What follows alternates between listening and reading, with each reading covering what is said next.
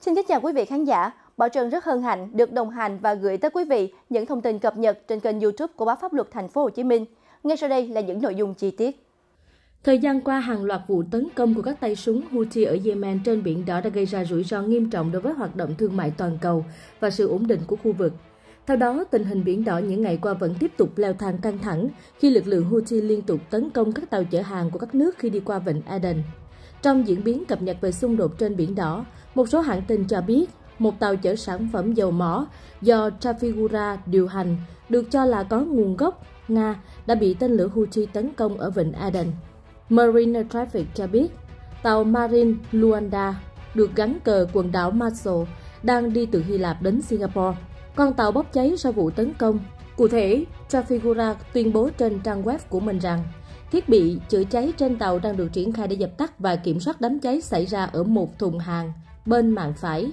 Chúng tôi vẫn giữ liên lạc với tàu và đang theo dõi tình hình một cách cẩn thận. Các tàu quân sự trong khu vực đang trên đường đến hỗ trợ. Người phát ngôn của công ty nói với Bloomberg rằng tàu chở naphtha có nguồn gốc từ Nga, một sản phẩm dầu nhẹ chủ yếu được sử dụng để sản xuất nhựa và hóa dầu. Theo dữ liệu từ công ty phân tích Kepler, tàu chở dầu đã thu thập hàng hóa bằng cách vận chuyển từ tàu này sang tàu khác tại khu vực gần vịnh Lakonikos ở miền nam Hy Lạp. Phiến quân Houthi tuyên bố họ đã thực hiện cuộc tấn công vào con tàu nhóm Hồi giáo này kiểm soát phần lớn Yemen đã tấn công các tàu đi qua tuyến đường thủy quan trọng giữa Biển Đỏ và kênh đào Suez kể từ khi xung đột Israel-Hamas leo thang, gọi việc tấn công là thể hiện tình đoàn kết với Hamas. Giữa các cuộc tấn công, nhiều công ty vận tải biển đã đình chỉ hoạt động đi lại trong khu vực. Tháng trước, Liên minh do Mỹ dẫn đầu triển khai một lực lượng đặc nhiệm hải quân tới khu vực này để bảo vệ hoạt động vận chuyển hàng hóa và bắt đầu tấn công các mục tiêu của Houthi ở Yemen. Ngoài ra, Mỹ và Anh còn áp đặt các lệnh trừng phạt mới đối với nhóm này. Ngược lại, Houthi bắt đầu tấn công các tàu có liên kết với các quốc gia này. Trong một cuộc phỏng vấn với hãng tin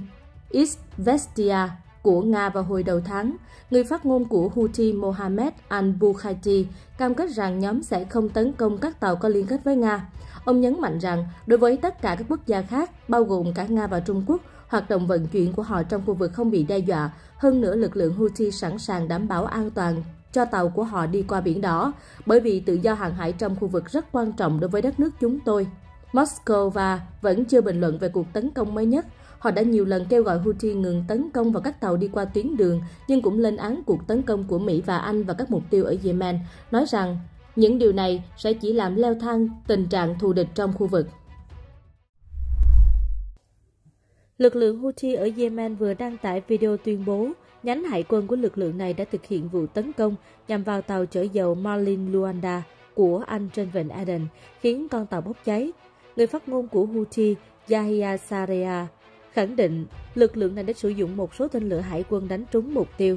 Trước đó cùng ngày, cơ quan giám sát hàng hải của Anh mang tên UKMTO cho biết đã nhận được báo cáo về vụ tấn công xảy ra ở địa điểm cách vịnh Aden 60 hải lý về phía tây nam.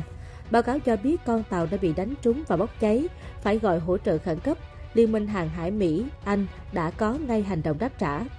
Căng thẳng tiếp tục gia tăng trên Biển Đỏ sau khi Houthi tấn công các tàu thuyền thương mại qua đây để phản đối các chiến dịch quân sự của Israel nhằm vào lực lượng Hồi giáo Hamas ở giải Gaza và đặc biệt sau vụ quân đội Mỹ, Anh tấn công các mục tiêu của Houthi ở Yemen hôm 12 tháng 1 vừa qua. Mỹ và Anh cho biết đây là một hành động nhằm bảo vệ tuyến hàng hải quan trọng ở Biển Đỏ. Trong ngày 26 tháng 1, Houthi cũng đã bắn tên lửa chống hạm hướng về phía tàu USS Carney của Mỹ trên vịnh Aden nhưng đã bị đánh chặn kịp thời.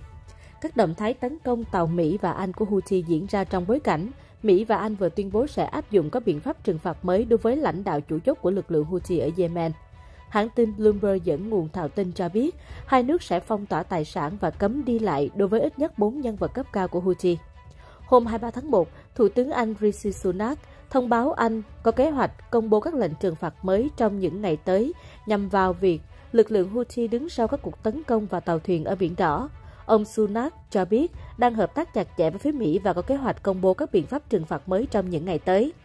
Trong khi đó, lực lượng Houthi cho biết sẽ tiếp tục tấn công các thuyền có liên quan Israel cho đến khi hàng viện trợ đến được với người dân Palestine ở giải Gaza. Người đứng đầu của lực lượng này, Ông Afdan Malek al-Houthi nói rằng những biện pháp đáp trả của Mỹ và Anh sẽ chỉ phản tác dụng và sẽ không ảnh hưởng đến hành động của Houthi.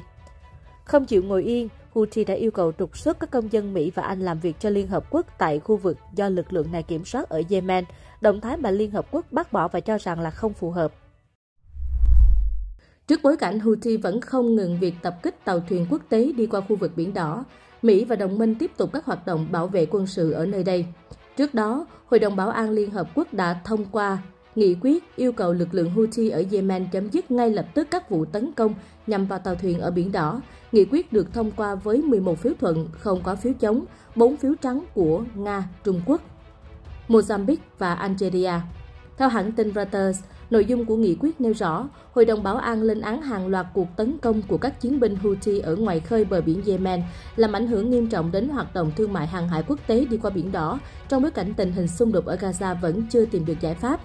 Nghị quyết này có một nội dung quan trọng do Mỹ và Nhật Bản bảo trợ, khẳng định rằng các thành viên Liên Hợp Quốc có quyền bảo vệ tàu của quốc gia trước các cuộc tấn công, bao gồm những hành vi làm suy yếu các quyền tự do hàng hải. Giới quan sát cho rằng, Nội dung này có thể xem là đã cung cấp cơ sở pháp lý đối với Liên minh quân sự hàng hải, chiến dịch người bảo vệ thịnh vượng do Mỹ dẫn đầu, đang bảo vệ các tàu thương mại ở Biển Đỏ và Vịnh Aden trước các cuộc tập kích của lực lượng Houthi trong nhiều tháng qua. Đại sứ Mỹ tại Liên Hợp Quốc Linda Thomas Greenfield phát biểu khi kêu gọi Hội đồng phê chuẩn nghị quyết mối đe dọa đối với quyền hàng hải và tự do biển đỏ là thách thức toàn cầu, đòi hỏi phải có phản ứng toàn cầu. Hội đồng Bảo an ủng hộ quyền tự do hàng hải ở Biển Đỏ, tàu bè đi qua khu vực này không thể bị cản trở. Bên cạnh đó, Ngoại trưởng Mỹ Antony Blinken cũng đã cảnh báo lực lượng Houthi sẽ gánh chịu hậu quả nghiêm trọng nếu tiếp tục các đợt tấn công tàu thuyền ở Biển Đỏ. Bộ trưởng Bộ Quốc phòng Anh Grant Shapps cũng đã đưa ra một thông điệp tương tự, khẳng định Anh sẽ không để tình hình kéo dài và sẽ phối hợp với Mỹ để tuần tra.